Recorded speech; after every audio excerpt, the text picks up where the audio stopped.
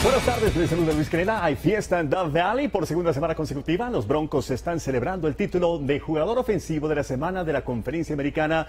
Merecido premio para el corredor CJ Anderson, anotando dos touchdowns ante los Patriotas el domingo pasado, 153 yardas y el touchdown ganador en tiempo extra para romper la temporada perfecta de los Patriotas de Nueva Inglaterra el domingo pasado. El corredor con la jugada ganadora de 47 yardas para su segunda anotación en el duelo, 7.5 yardas por acarreo, 113 yardas, 13 acarreos, 40 yardas en el aire. Este es su segundo título. El año pasado nombrado lo mejor de la séptima semana, 87 yardas, 3 touchdowns ante los Raiders de Oakland. Tendremos mucho más esta noche. En el mundo del deporte de baloncesto profesional, Kobe Bryant regresó a casa, Filadelfia.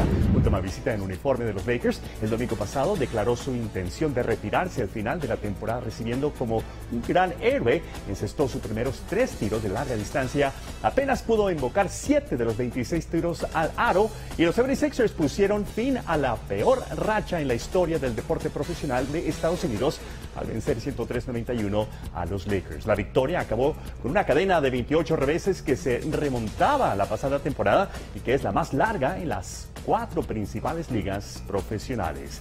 Fútbol de México se hizo oficial. Los Cholos de Tijuana le dieron la bienvenida a su nuevo técnico Miguel Herrera. Tras el cese de Rubén Omar Romano, el regreso del Piojo a la dirección técnica de un club tras su paso por el tricolor es con un contrato por dos años. Será a partir de este mes de diciembre cuando tome las riendas del equipo. Esto debido al reglamento que le impide dirigir en este mismo año. Dirigirá a los fronterizos de manera oficial a partir del torneo Clausura 2016. Escucha esto: con su llegada como técnico de Tijuana, Herrera habría hecho una petición de rebasar la cancha y unos periodistas se reportan que el Piojo no quiere que el comentarista Cristian Martinoli narre los duelos del cuadro fronterizo del Estadio Caliente. Y recuerde que los Broncos salen este sábado rumbo a San Diego en busca de victoria ante Philip Rivers. Esta noche a las 10 hablaremos del duelo divisional. Cada partido es de gran importancia. Muy bien. Gracias, Luis. Tomamos una última pausa, ya volvemos.